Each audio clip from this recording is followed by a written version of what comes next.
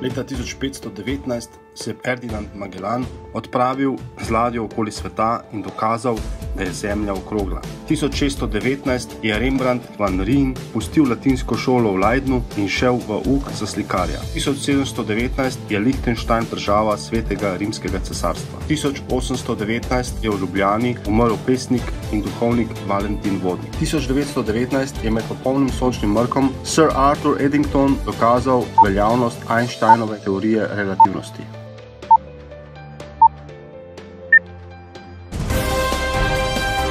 Gledate EXJ Slovenija News. V letu 2018 smo skupaj obeležili 80. obletnico najdbe okostja mamuta pri Kamniku, spremljali javno razpravo o drugem tiru, nastopali z Markom Zubandora, spremljali nekatere kandidate na parlamentarnih volitvah, obiskali razstavo Narodnega muzeja Slovenije, železodobne zgodbe z tiščišča svetov.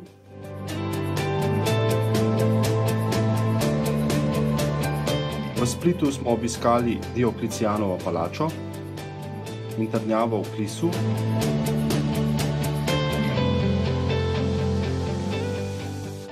Atelje in razstavo hrvaškega kiparja Ivana Meštroviča. Arheološke ostanke rimskega mesta Solin ter naravne lepote reke Cetinje. Nastopali smo v Logacu za slovenske družine. Protestirali z domoljubi proti rabi totalitarnih simbolov in intervjuvali jugonostalgike. Nazdravljali smo slovenskimi domoljubi.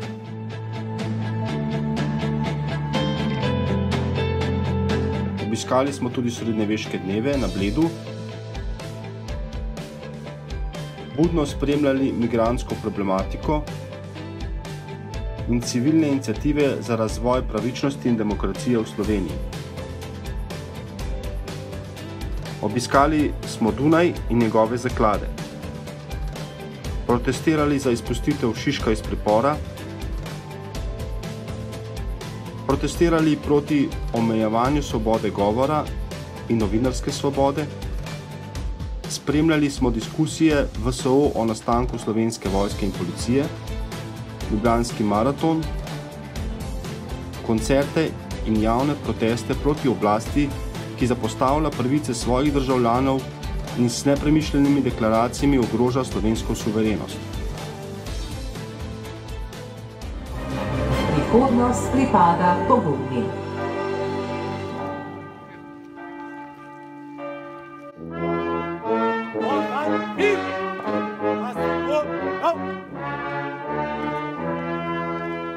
Slovensko srce je odnegdaj veliko, odnegdaj ponosno, odnegdaj čuteče, v sonce, brez senc je obarvalo sliko in stono poljubov napolnilo vreče. Do oktobra istega leta je bilo tako za obrambo organizirano moštvo, ki je štelo čez 20 tisoč ljudi. Zato smo lahko en teden pred plebiscitom pokazali Sloveniji, Jugoslaviji in svetu, da hočemo zavarovati našo botu samostojnost tudi po vojaški poti. Zato smo 26.6.91 na dan napada Jugoslovanske ljudske armade po proglasitvi neodvisnosti bili pripravljeni na obrambo in zato smo tudi zmagali. Gospe in gospodje, to je bistveni del zgodbe o slovenski vojski. To ni fake news.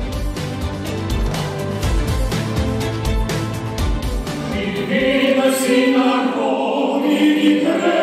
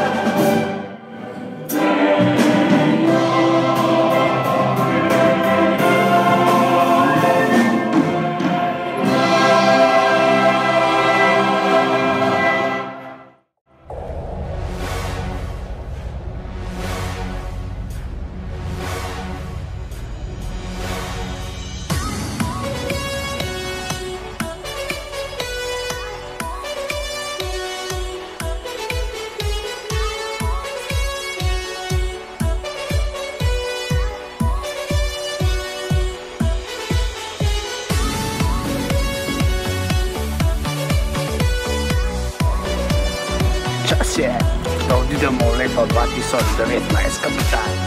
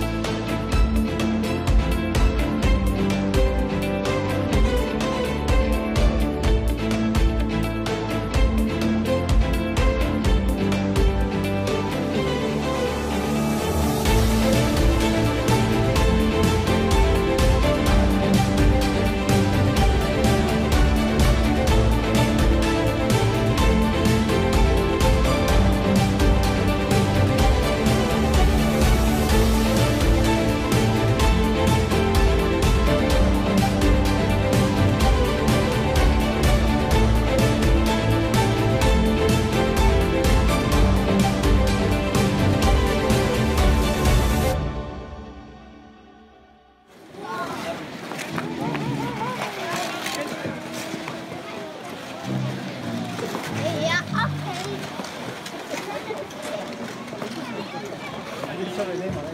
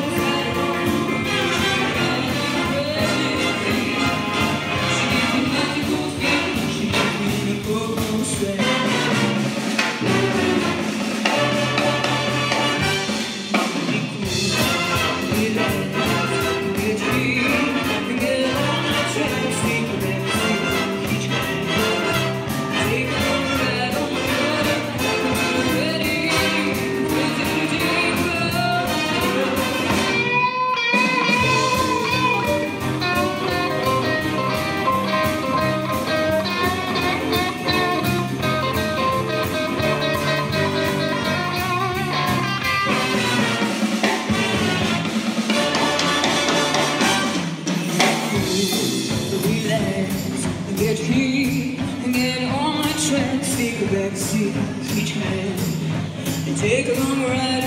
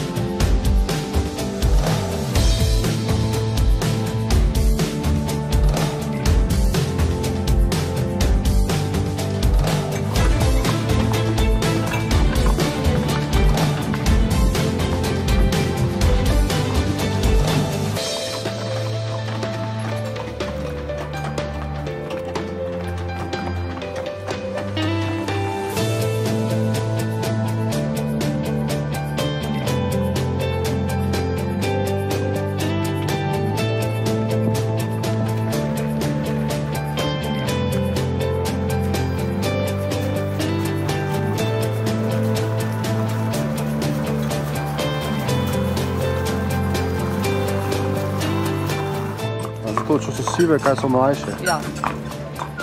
Načeloma bi naj tako veljalo. Gledaj, samo.